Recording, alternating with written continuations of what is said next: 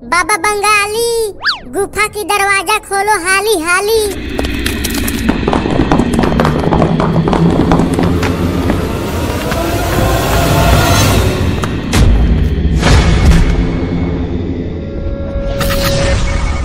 क्या हुआ छबीला? क्यों मुझे नींद से जगाया? बाबा बंगाली ये देखिए समुद्र की राजकुमारी मरीना घायल हो गई है। इन्हें इलाज की बहुत ज़रूरत है। समुद्र की राजकुमारी मरीना मुझे इस हालत में मिलेंगी कभी सोचा नहीं था। आखिर इनके साथ क्या हुआ? मैं बताता हूँ। जल्दी इन्हें रखो यहाँ।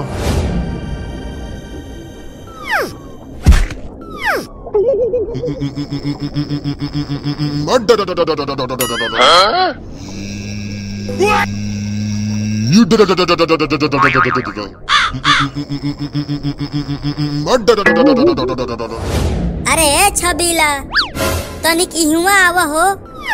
बोलो, का लगता है तुम्हें कि बाबा बंगाली बचा लेगा जलपरी को? तुम्हें शक है?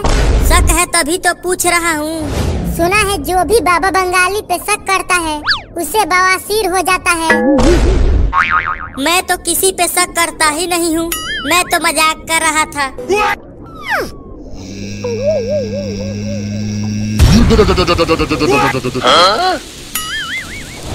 पानी के अंदर आग जला दिया।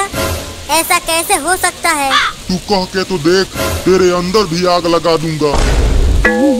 अपना सड़ा हुआ मुँह बंद रख बुरा। बाबा बंगाली और कितना समय लगेगा इन्हें ठीक होने में? हलवा है कि गप से खा गया? मंत्र को काम करने में समय लगता है। बड़ा ही बदतमीज बाबा है। तेरा खून कब खोलेगा रे सरदार? खून तो बहुत खोल रहा है। लेकिन हम इसके इलाके में हैं, इसीलिए कुछ कर नहीं पा रहा। सरदार, वो देखो जलपरी होश में आ रही है।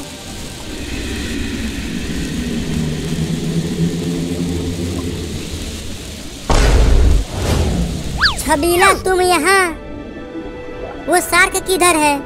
और मैं यहाँ कैसे आई? आपको आराम की ज़रूरत है राजकुमारी मरीना। आपको सार्क ने घायल कर दिया था और आपको इन लोगों ने लेकर आया मेरे पास। अबे बुड़बको जल्दी से अपना सर झुकाओ।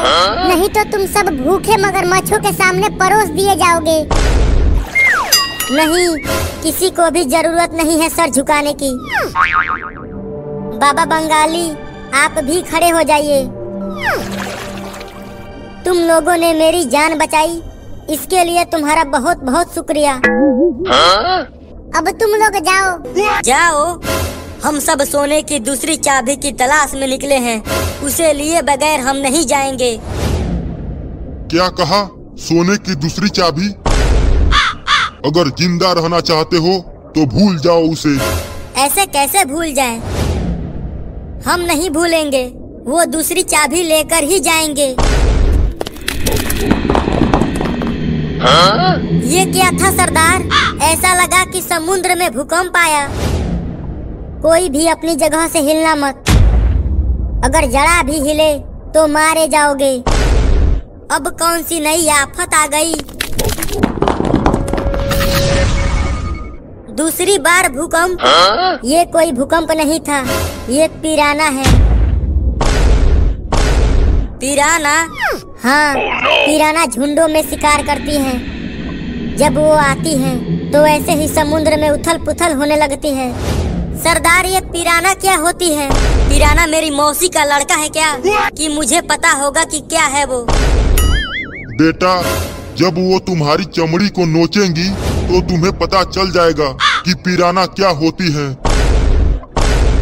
पिराना ज़्यादा हलचल की तरफ़ आकर्षित होती हैं। तो अच्छा यही होगा जब वो हमारी तरफ़ आए तो कोई भी हलचल मत करना नहीं तो हम में से कोई नहीं बचेगा।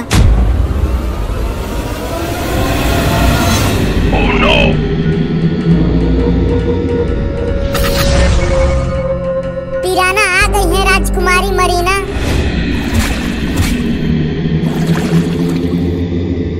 ये तो काफ़ी बड़ी तादाद में है। लेकिन राजकुमारी मरीना पिराना तो मीठे पानी में रहती हैं। तो इस समुद्र के खारे पानी में कैसे? इन पिराना के बारे में हम भी ज़्यादा कुछ नहीं जानते। लेकिन इतना ज़रूर पता है जहाँ ये जाती हैं अपने पीछे बर्बादी छोड़ती जाती हैं। क्यों बड़ी बड़ी फेंक रहे हो? ये तो केवल मछलियाँ हैं। भला इनसे क्या डरना हिलना बंद करो। अगर ज़िंदा रहना चाहते हो तो। क्यों बकवास कर रहा है बे? चुप। इन जैसी मछलियों को तो मैं आटे में लपेट कर खाता हूँ।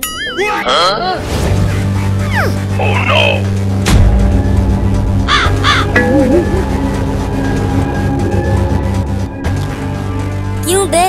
तेरा ही नाम पिराना है। हम्म, क्यों बे कभी बरस नहीं करती क्या? अरे दादा! तुम्हारा एक आदमी गया। मुझे पता चल गया कि पिराना क्या होती है।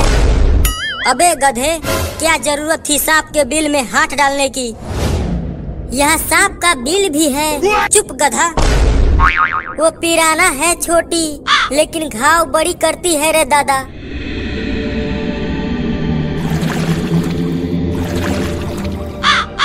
हिलना मत कोई, नहीं तो मारे जाओगे। मरना है क्या?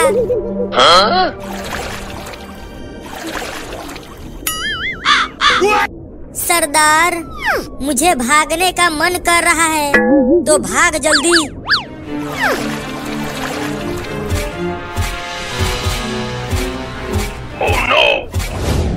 राजकुमारी मरीना अब इन सबका बचना बहुत मुश्किल है।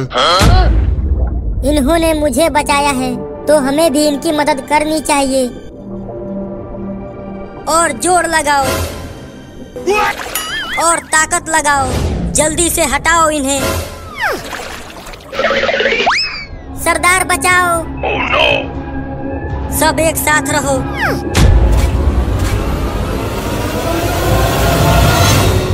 पिराना ने तो हमें चारों तरफ़ से घेर लिया है। तुम्हारा शिकार मैं हूँ, वो नहीं।